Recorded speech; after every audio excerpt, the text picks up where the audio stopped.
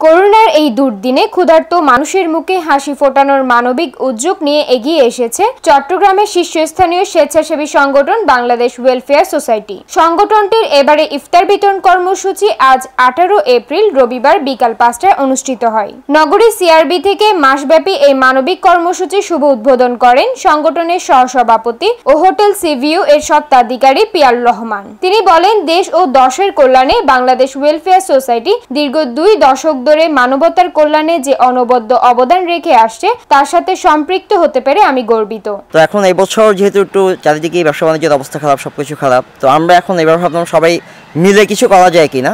তো আমি এগিয়ে আসলাম, তো আমি আশা করব এরকম আরও যারা আছে, সবাই যেন এগিয়ে আসে। আর বাংলাদেশ ওয়েলফেয়ার সোসাইটিতে আছেই মানুষের পাশে।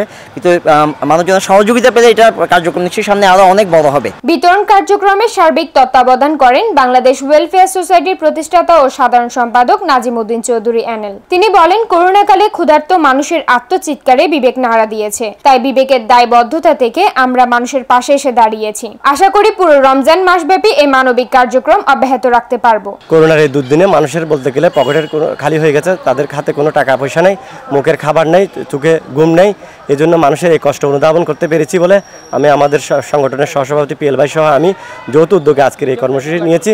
আমরা গত কয়েকদিন থেকে এই পরিশ্রম করছি, শুধুমাত্র মানুষের মুখে হাসি ফুটানোর জন্য। কারও সহযোগিতা কিংবা উৎসাহ পাওয়ার জন্য নয়, শুধুমাত্র বিবেকের দায়বদ্ধতা থেকে। আপনারা সবাই দোয়া করবেন, জনগণের দোয়া পেলে আমরা আমাদের কার্যক্রমকে আরও বেশি এগিয়ে নিতে পারব। আমাদের ইচ্ছা আছে এই কার্যক্রম এই চাঁদ রাত পর্যন্ত এগিয়ে নেওয়ার জন্য।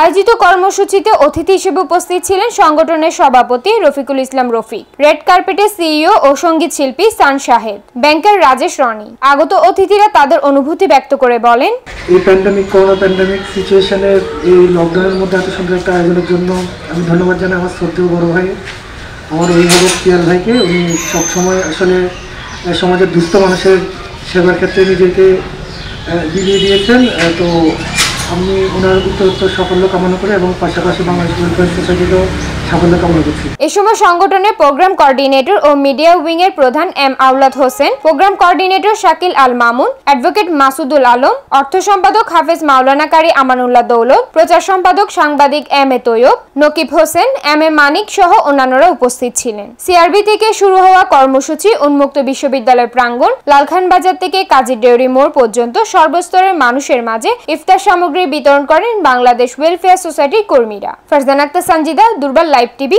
চট্টগ্রাম।